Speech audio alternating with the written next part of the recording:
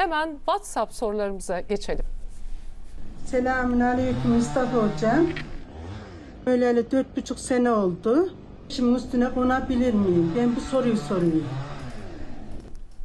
Evet, e, Fatma ablamız Kayseri'den. Geçen hafta e, Kayseri'de hacılardaydık. Beğendik bağlarından Fat- e, bu soruyu sordu. Özellikle size iletmemizi söyledi hocam.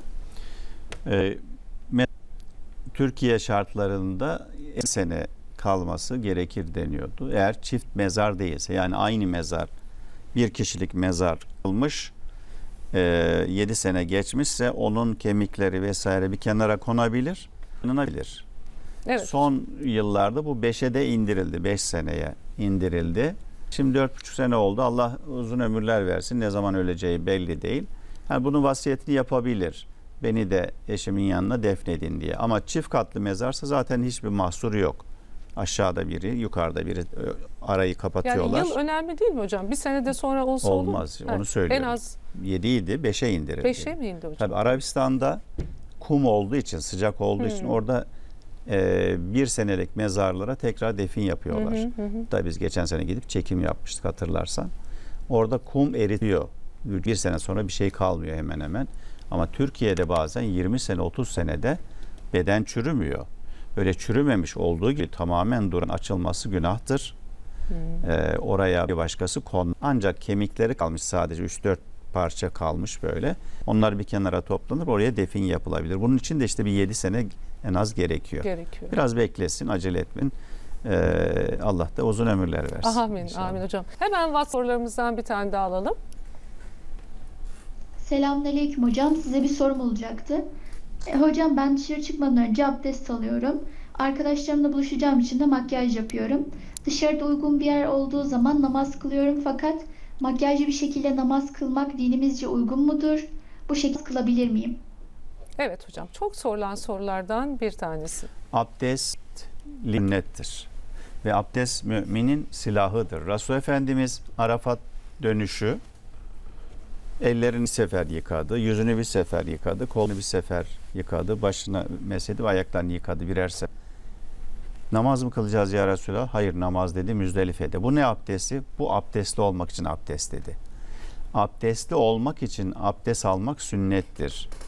Ee, makyaj yap- yaptım abdestten sonra makyaj yapmak abdesti bozmaz. Ama makyajınızı hani bir e, teşhir, Allah'ın tesettürüne riayet etmediniz, emrettiği tesettüre açıldınız, saçıldınız. Ondan dolayı günah kazanırsınız.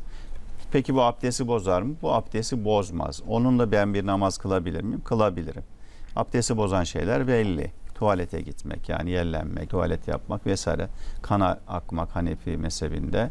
Bunlar uyumak, derin bir uyku yaslanarak. Bunlar abdesti bozar. Bunun dışında makyajlı ise de namazını kılabilir. Evet, ilginç bir soru var hocam. Bekir Bey demiş ki, merhaba hayırlı sabahlar sorum vardı. Hayatımda hiç alkol almadım ama tadını aşırı merak ediyorum. Merak günah. Merak günah değildir. Alkolün azı günahtır. Yani çoğu haram olan şeyin azı da günahtır. Ben hayatımda dilimi bile sürmedim hiçbir e, alkole şuna buna ama hiç de merak etmiyorum.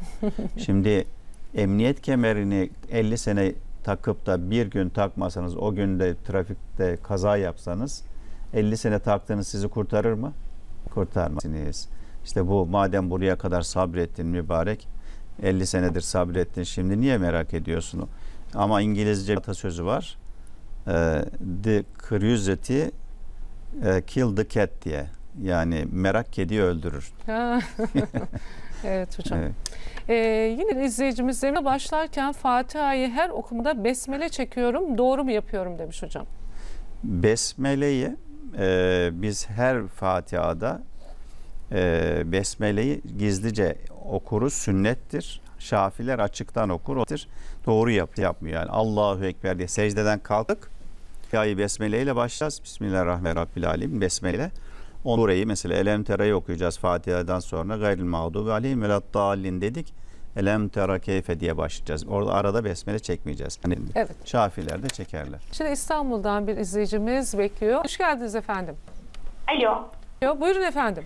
Selamünaleyküm hocam. Aleykümselam ve Selam. rahmetullah. Büşra Baş. Evet. Buyurun. Büşra buyur kardeşim.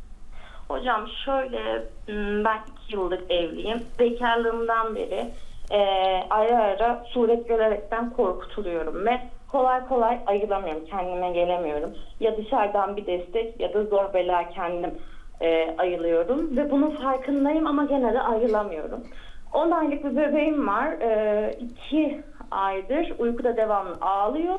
Bağırıyor gözü kapalı bir şekilde kucağı. E, 3-4 kişi hiç şekilde sakinleştiremiyoruz. Yani bunun için ne yapacağım? Evet. Ya biz dört tane büyüttük hepsi korkuyordu. ya korkacak çocuk tabii ya, öyle çocuk. değil hocam hani e, bağırarak gözü kapalı bağırıyor ve 3-4 kişi sakinleştiremiyoruz kucağımızda. Bizi duymuyor. Peki doktor ne diyor?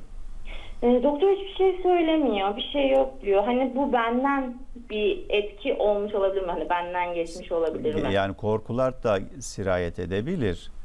Ee, ancak şöyle bir şey var. Yani çocuğun o e, 10 aylık çocukta bunların depreşmesi çok erken. Ee, Ve o- çok nazar değiyor. Hani her, en ufak bir bakışta göz değiyor. Acaba bunun etkisi mi bak- bendeki korkum ona Büş- bulaşıyor? Büşra ben de küçükken ağlarmışım.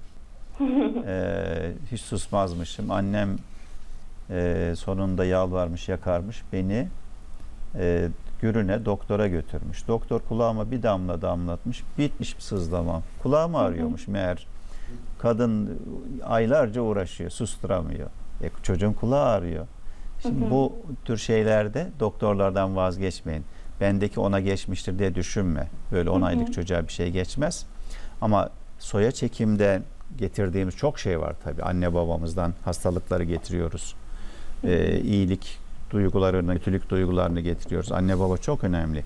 Çocuğun terbiyesi onun için anneden babadan başlıyor. Daha doğ, doğduktan sonra değil. Terbiye anne babadan beri başlıyor. Onun için-. Peki onun hocam, için benim bu evleneceğimiz için ne senin korkun gerek? için ne yapmalı? Senin korkun için gitmişindir sen psikologlara vesaireye. Evet evet. Ee, onların dedi e, harfiyen yapmalıyız. Biz şimdi bir kısmını yapıp bir kısmını sonradan zor geliyor ya da bıkıyoruz. Yapmayınca doktor gezdim çaresini bulamadım diyoruz. Çareyi veren Allah'tır. Derdi veren çareyi verir mutlaka. Ee, korkularınızdan korkmayarak korkuyu yeneceksiniz. Yani, Yani, herhangi bir cevşene falan gerek yok. hiç gerek yok. Bak ger- gerek yok. Şöyle diyeceksin. Ben üç harflilerden güçlüyüm. Ben insanım çünkü.